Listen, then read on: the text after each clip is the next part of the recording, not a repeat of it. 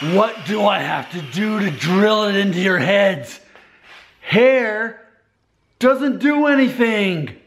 What's the point in having hair? I mean, seriously, let's take a moment, let's take a few minutes to analyze this. I mean, I've really been thinking about it on the drive here. I thought, what purpose does hair serve for a man? Now, I, I know, I know that we've had a history of believing that a man's hair in the likeness of a peacock is going to make him more attractive to a mate. But not in modern day, not in 2018, not when masculinity is seen even that much easier when a man gets rid of his hair. I mean, we live in the days of non binary. Yeah, we do. That's a thing that people talk about. So when someone sees a masculine man, it really stands out. When a man gets rid of his hair, then it actually is an advantage to him. So I'm really, I'm trying to sort this out right now. How does it benefit a man to have hair? What, bragging rights? Oh, I can still grow hair even though I had no control over it because of my DNA, which predetermined how sensitive I was to DHT. Who cares? Even if a man thinks that in his own brain, the rest of the world's not chanting along with him, yeah, yeah, yeah, you can still grow hair. It doesn't work that way. And it's like people like me who have unplugged from the system, we get it. We're like, wow, everybody else doesn't know the secret yet. That not only does hair have no benefit for a man, but it actually is an advantage to get rid of it. Like that's the world I live in. Like that is the world I live in. And I'm really, truly, simply trying to answer this question. What purpose does hair serve for men? I mean, at least a purpose that's gonna matter. What? Okay, well, Nick, if you go out in the sun, you'll get sunburned more easily. Wear a hat. I mean, hey, if you, and you know, I'm not teaching you anything new. You Google this. Bald men are, appear to be more confident, taller, sexier. Like that's all over the internet. They keep doing these reports and proving that people respond very positively toward a man who is bald. Whether he could still grow a full head of hair or not, that's not so much the thing. It's a matter of he chose to do that or he is that way. Either way, if he's starting to lose this, he fully commits and gets rid of the rest.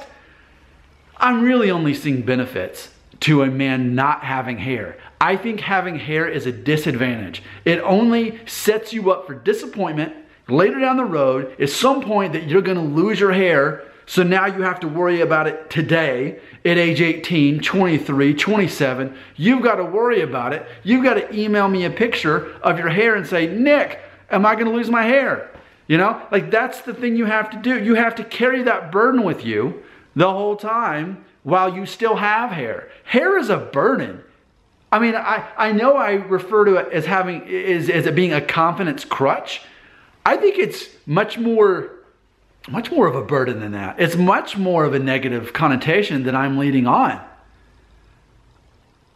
I'm still trying to understand what purpose having hair does in, in a way that it's positive. What you say, well, Nick, uh, you know, a man will look more professional if he has a full head of hair.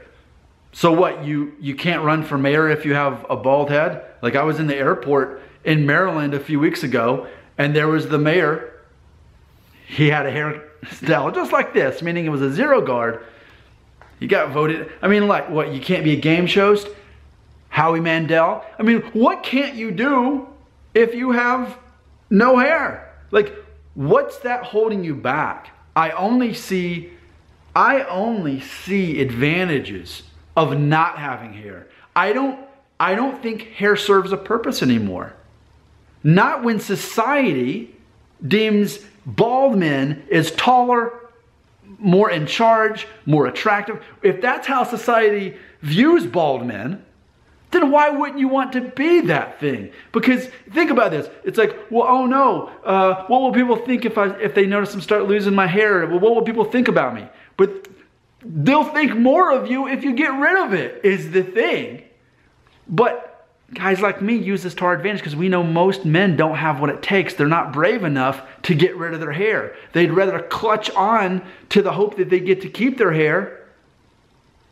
And it's this whole, they're just grabbing on to this thing that just doesn't hold any value in life. So I'm convinced. I don't see any positive benefit of a man having hair. Okay? Because if you want to argue that people will see you as more attractive and youthful and all these things if you have your hair, okay, maybe you'll look younger with hair. But even that, is that something you need? Do you need to look younger? I mean, I've said this before, especially when attracting a female, they're often attracted to a man that looks older and acts older and seems older. So the appearance of being older in itself is an advantage. It's an advantage to get rid of hair. It serves no purpose that is going to make your life better. What I have learned in making these couple of thousand of videos and interacting to hundreds, if not thousands of you in the process, what I've learned is anxiety and even depression, confidence issues are all tied to hair. Well, what if you get rid of the hair? What if you get rid of the confidence issues? What if you get rid of the anxiety and depression? What if you get rid of all that? What if the problem is growing out of your head and you just get rid of the problem? I'm sorry, I'm just, I'm convinced hair serves no purpose for men that is going to enhance our lives. Our lives become more enhanced when we choose to get rid of the hair. Now, please, please, please, I, I said that I'm, I'm convinced of that thing. But at the same time, I want to be a very open minded person. So if you can, in the comments, give me one good reason, one good benefit of having hair compared to all the benefits I just said that's going to outweigh that, then I'll go, okay. And then I'll probably make a video about that. But I still think that everything I've presented, if anything, proves that choosing to get rid of your hair is the biggest way to solve the problem. If it's what if it's you worried about what people are going to think about you, what if it actually helps you? What if they think more of you if you have what if the, if it's the epitome of less is more? Okay, please, I'm begging you, convince me that it is a benefit for a man to have hair that it's a benefit that you were born with that DNA that causes you to never lose your hair, and you're 50 years old and have a perfect head of hair, convince me that that's a benefit to a guy like me. I would already say that I'm more confident than the guy that doesn't lose his hair because I've had to I've had to grow more as a human being. By default, I'm going to be more confident. I don't have anything to lose, right? So I just see nothing but benefits. You, you have to do whatever's right for you. But I think it's no way to live when you have to give a, a daily thought, oh no, am I going to lose my hair? Or at least, how long before I do lose my Will I make it to 30? Will I make it to 40? Will I make it to 50? What does Nick Shell say? I don't care. I'm already there. And I look taller. I look more attractive. I look more masculine. I look more in charge. And that whole thing I've said before many times about how there's no true difference between actual confidence and fake confidence.